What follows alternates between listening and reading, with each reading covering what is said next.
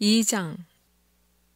그 후에 아하수에로 왕의 노가 그침에 와스디와 그의 행한 일과 그에 대하여 내린 조서를 생각하거늘 왕의 시신이 아뢰되 왕은 왕을 위하여 아리따운 처녀들을 구하게 하시되 전국 각 도의 관리를 명령하여 아리따운 처녀를 다 도성 수산으로 모아 후궁으로 들여 궁녀를 주관하는 넷이 해계의 손에 붙여 그 몸을 정결케 하는 물품을 주게 하시고 왕의 눈에 아름다운 처녀로 와스디를 대신하여 왕후를 삼으소서.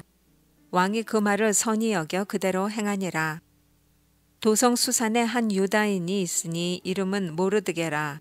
저는 베냐민 자손이니 기스의 증손이요 시므이의 손자여 야일의 아들이라.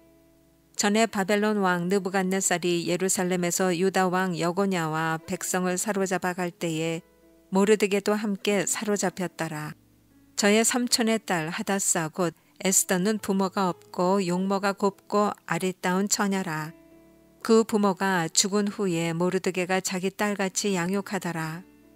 왕의 조명이 반포됨에 처녀들이 도성수산에 많이 모여 해계의 수하에 나아갈 때에 에스더도 왕궁으로 이끌려가서 궁녀를 주관하는 해계의 수하에 속하니 해계가 이 처녀를 기뻐하여 은혜를 베풀어 몸을 정결케 할 물품과 일용품을 곧주며 또 왕궁에서 의뢰히 주는 일곱 궁녀를 주고 에스더와 그 궁녀들을 후궁 아름다운 처소로 옮기더라. 에스더가 자기의 민족과 종족을 고하지 아니하니 이는 모르드게가 명하여 고하지 말라 하였음이라. 모르드게가 날마다 후궁 뜰 앞으로 왕래하며 에스더의 안부와 어떻게 될 것을 알고자 하더라.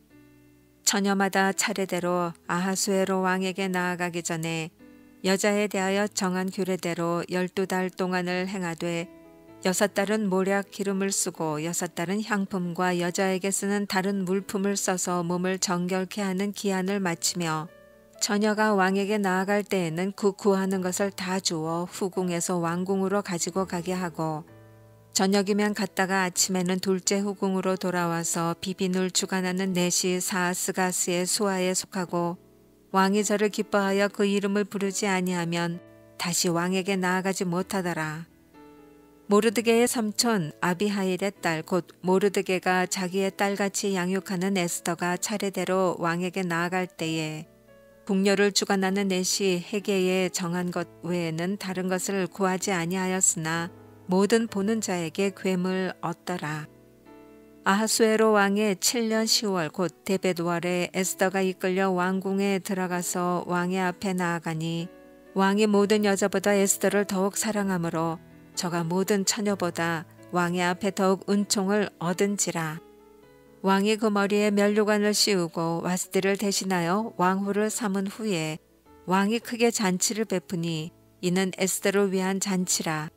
모든 방백과 신복을 향응하고 또 각 도의 세금을 면제하고 왕의 풍부함을 따라 크게 상준이라. 처녀들을 다시 모을 때에는 모르드게가 대궐 문에 앉았더라. 에스더가 모르드게의 명한 대로 그 종족과 민족을 구하지 아니하니 저가 모르드게의 명을 양육받을 때와 같이 조춤이더라.